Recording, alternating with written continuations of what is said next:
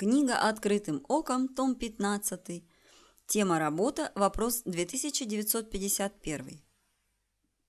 Вы как-то отвечая на вопрос, какие специальности считаете ненужными, сказали, что специальность историка вами не приемлется с восторгом.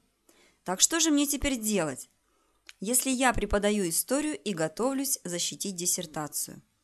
Отвечает Игнатий Тихонович Лапкин. Я же не диктую вам условия, но даю мое видение этого ненужного никому предмета.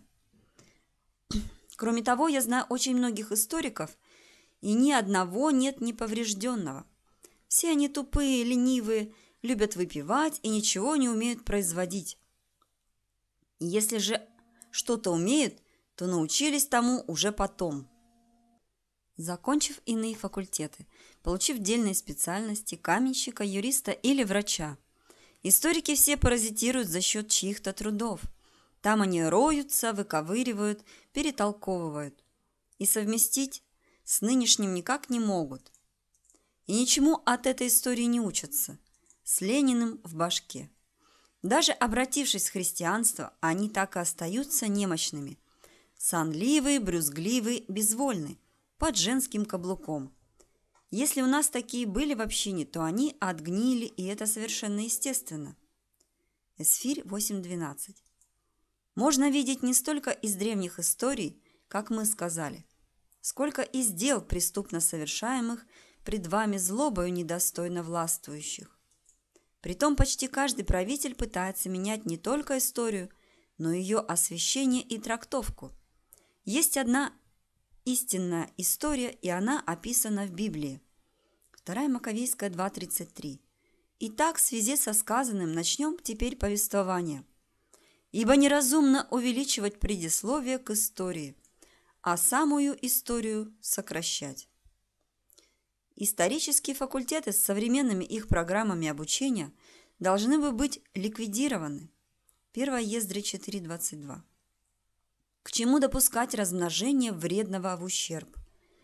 Если не хотите, чтобы ваши дети были паразитами и забивали бы головы своей пылью, то учите их настоящим специальностям, без которых трудно прожить.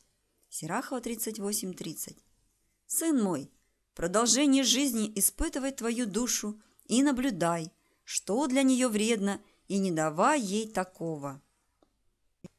Уже в ребенке с самых малых дней любимая так ластится к нему. Где кукла милая, обнявшись, спит он с ней. А как любовь родилась, не пойму. Во вкусе каждого природном, изначальном, неизъяснимом даже дикарю, срабатывает зов, велит крутой начальник, распахивает сердце, вплываешь, как в зарю. Любовь – привязанность к приевшейся привычке – мы с ней срослись так часто не к добру. Утерянную соску плача ищем, с тревогой озираемся вокруг. А то любимая нередко так вредит. Последствия той дружбы колоссальны. На шаг, полшага мы не видим впереди. И бросить жалко, от чего устали. Задача старших верующих братьев, задание для опытной сестры – дурное высветить, чтоб не могло пробраться, бедою черную в исходе не накрыть. Зачем распространяться о добре, когда оно в телах и в душах живо?